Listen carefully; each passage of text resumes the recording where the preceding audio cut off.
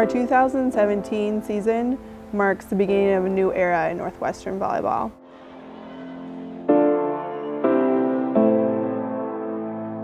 And usually we've been in the position of the underdog.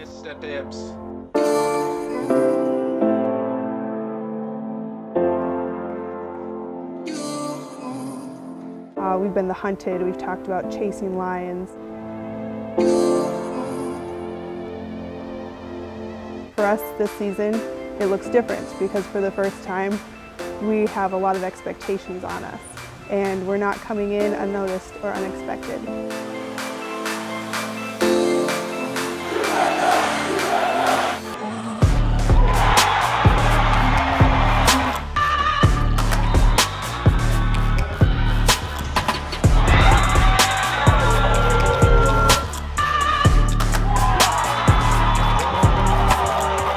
Know teams are going to be ready for us and that we're probably the toughest team on their schedule for the season.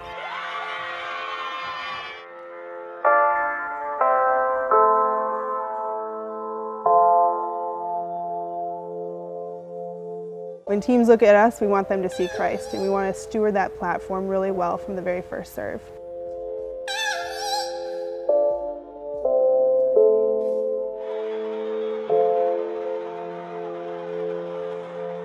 We're positioned in a place where we can hopefully continue to compete for a regional championship and then a national championship.